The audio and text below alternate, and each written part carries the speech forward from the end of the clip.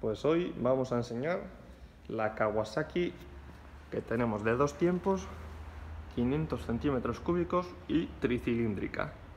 La verdad que es una moto muy, muy, muy especial y súper rápida. Esta era la, la, que batía los récords en el cuarto de milla. Esta vino desde Italia, ahí se ven varias. Está muy bien conservada. Las motos japonesas se hacían de muy alta calidad.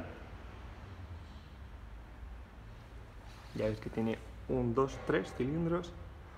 Por este lado sale una, una cola de escape. Y por este lado, otra.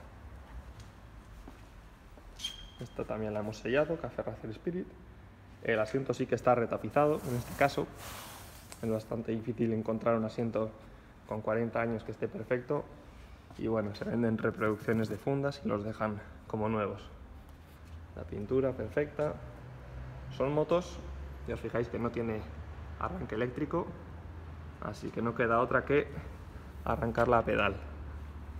Son de 500 centímetros cúbicos, está bueno, tiene su truco. Hay que llenar las...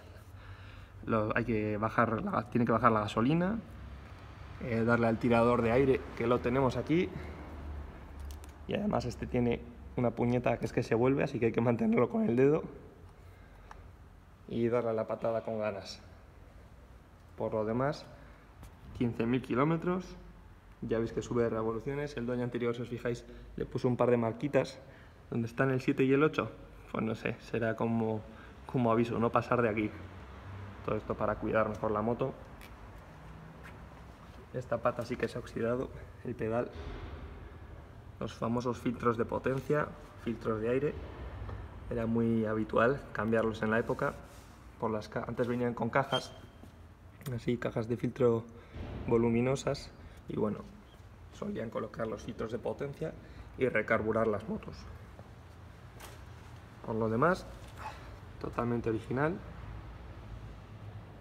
Amortiguadores el suyo, intermitentes con catadióptricos, pintura perfecta, un piloto de freno gigantesco, la matrícula FT, FPF, traída de Italia, freno tambor trasero, aquí lo tenemos,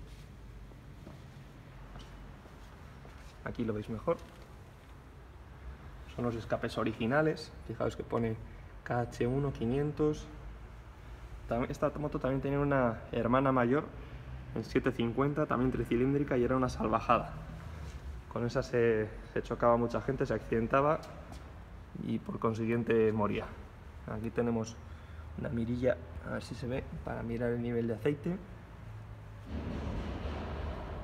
Todo esto es original, piñas, puños. El manillar lo tenemos un poco avanzado, pero porque lo hemos regulado así para conducirla más cómoda. Aquí para el líquido del freno. Soportes del faro, todo en buen estado. Una moto muy muy potente y suena espectacular. Haremos un vídeo arrancándola, pero fuera del pabellón, que si no nos va a contaminar todo el, todo el local. Así que si os ha gustado, comentarlo y nos vemos en el próximo vídeo. Venga, un saludo a todos.